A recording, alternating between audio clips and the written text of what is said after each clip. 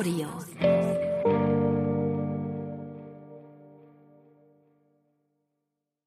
A Night of Shadows and Betrayals von Anne Petzold. Es lesen Lea Fleck, Corinna Dorenkamp und Mary-Lou Pohlmann. Liebe HörerInnen, dieses Hörbuch enthält potenziell triggernde Inhalte. Diese sind Skinpicking, depressive Verstimmungen, Depressionen, Suizidgedanken, Blut, Waffengewalt. Wir wünschen uns für euch alle das bestmögliche Hörerlebnis. Eure Anne und euer Lüx Verlag. Für Oma und Opa und Oma und Opa. Danke für alles. Wo bist du? Wo bist du? Wo bist du? Wo bist du? Wo bist du? Kapitel 1 Sascha 10.800 Sekunden. Ich zählte sie ab dem Moment, in dem Dylans Schritte auf dem Flur verklungen waren.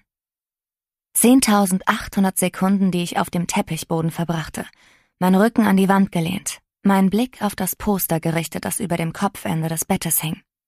Fünf nackte Frauen, die auf einem Hügel tanzten. Irgendetwas daran faszinierte mich.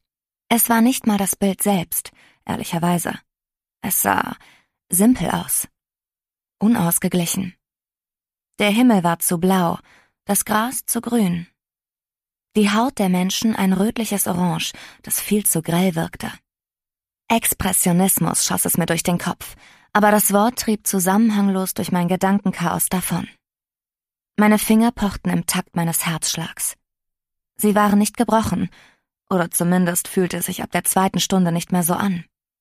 Von draußen drangen Geräusche in mein Zimmer, aber im Gegensatz zu vorhin waren sie abgeschwächter, irgendwie dumpfer. Als der Schmerz in meinen Fingern weniger wurde, spielte ich mit dem Gedanken, das Zimmer zu verlassen. Nach der zweiten Stunde hatte ich die Füße fest auf den Boden gestellt und bewegte mich trotzdem nicht vom Fleck. Ich starrte immer noch wie gebannt auf das Poster, ging die Linien ab, suchte nach Hinweisen oder Gedankenfetzen, nach irgendwas, das meine Faszination dafür erklärte. Ich fand nichts. Da war nichts, außer der Wiederholung meines Namens von der fremden Stimme in Dauerschleife. Ich starrte das Poster an, hoffte, mich selbst darin zu finden. Meine Frustration wuchs, als nur noch mehr Fragen auftauchten, und mit der Frustration kam eine Welle der Hilflosigkeit. Auf dem Flur vor dem Zimmer wurde es lauter. Ich spannte mich an, als es an der Tür klopfte, und keine Sekunde später stand Dylan im Raum, die Arme vor der Brust verschränkt. Ihre Füße steckten in schwarzen Loafers, sie trug blaue Jeans und ein weißes, locker sitzendes Shirt. Ich war mir nicht sicher, ob es bewusst gewählt war, aber es ließ sie zugänglicher wirken. Und sie war nicht allein. Hinter ihr stand jemand im Flur. Ich sah nervöse Hände zucken, lange blonde Haare und hörte ein dumpfes Rauschen in meinen Ohren, das ich nicht zuordnen konnte, bis die Person in den Raum trat und sich ein lautes, aufgeregtes Hämmern dazu gesellte. Ein Herzschlag. Blut, das in Adern rauschte. Dylan betrachtete mich abschätzend. Ihre Augenbrauen hoben sich immer mehr, je länger wir uns anschwiegen. Sie wippte leicht nach vorn, löste einen Arm von ihrer Brust und streckte ihn leicht zur Seite aus, als wollte sie sagen, und? Worauf wartest du? Mehr Sekunden verstrichen. Wie lang willst du dort sitzen bleiben? Dylans Stimme ließ mich zusammenzucken. Sie machte eine ungeduldige Handbewegung, aber statt mir eine Erklärung zu liefern, was genau sie von mir wollte, trat sie lediglich einen Schritt zur Seite und bedeutete der Frau, weiter in den Raum zu kommen. Sie kam der Aufforderung nach und blieb zwei, drei Schritte von mir entfernt stehen. Dylan tippte ungeduldig mit dem Fuß auf den Teppich. Ehrlich, worauf wartest du? Ich hob eine Hand und deutete unsicher auf mich selbst. Ich? Nein, Marie Antoinette, sagte sie mit einem Augenrollen. Gucke ich dich nicht an? Natürlich du. Ich weiß nicht. Ich schüttelte den Kopf zuckte mit den Schultern. Was willst du von mir? Dylan deutete auf die Frau. Was denkst du? Als ich nicht sofort zu einer Antwort ansetzte, seufzte sie frustriert. Hast du keinen Durst? Willst du nicht? Statt den Satz zu beenden, deutete sie nochmal mit Nachdruck auf die Frau. Ich schüttelte langsam den Kopf. Dylans Arm sank. Echt nicht? Du hast keinen Durst? Hatte ich welchen? Mein Hals brannte leicht, aber es war kein Vergleich zu dem Feuer, das vorhin direkt nach meinem Aufwachen in meiner Kehle gewütet hatte. Alles, was davon übrig geblieben war, war ein schwaches Kitzeln und die Erinnerung daran, wie der Mann leblos auf dem Boden gelegen hatte. Meine Kehle schnürte sich zu. Du willst, dass ich. Dylans Gesicht sagte, endlich verstehst du's. Die blonde Frau räusperte sich leise. Ich dachte, du hast gesagt, sie wurde gerade erst verwandelt. Wurde sie auch, aber anscheinend hat sie das Memo selbst nicht gekriegt, sagte Dylan leichthin. Sie zuckte mit den Achseln. Falls wir dich noch brauchen, wirst du's als Erste wissen. Mit diesen Worten scheuchte sie die Frau aus dem Raum. Die Frau stolperte verwirrt auf den Flur, aber als Dylan ihre Meinung nicht änderte, eilte sie den Gang hinunter, bis ich sie nicht mehr hören konnte. Dylan stützte die Hände in die Hüften. Du erinnerst dich aber schon daran, was vorhin passiert ist? Ich klemmte meine Hände unter meine Oberschenkel, um ihr Zittern zu verstecken. Hellbraune Augen.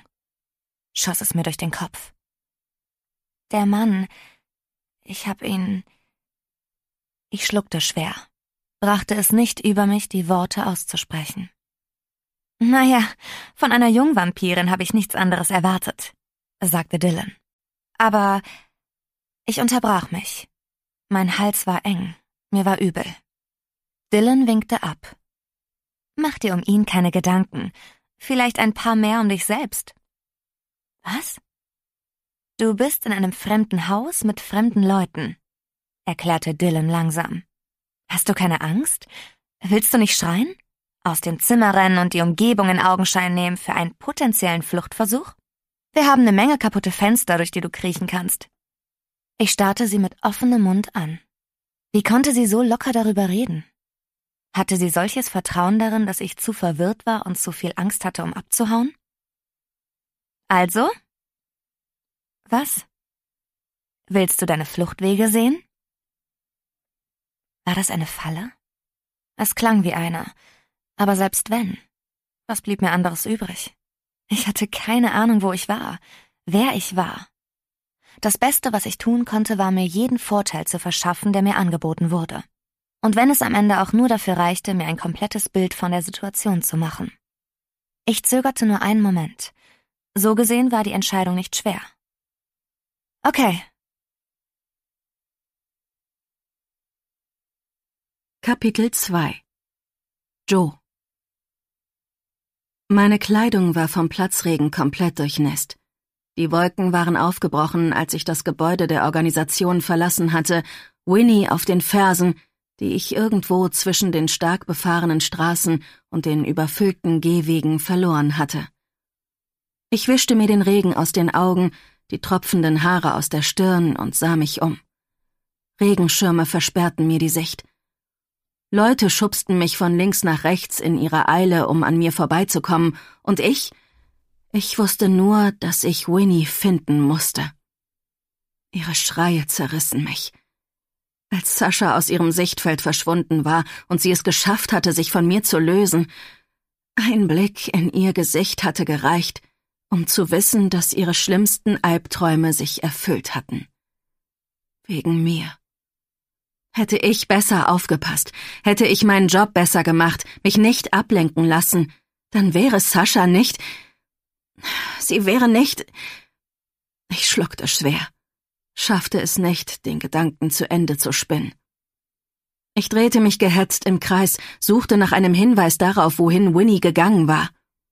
Meine Beine trugen mich ein paar Meter in die Richtung der Busse, zittrig erst, dann mit jedem Schritt sicherer. Ich schlängelte mich an den Leuten vorbei, ignorierte die mitleidigen Blicke, die sie der triefend nassen Frau zuwarfen, die ohne Jacke und ohne Schirm durch die Straßen rannte. Ich schwang mich in den Bus, ungeduldig bis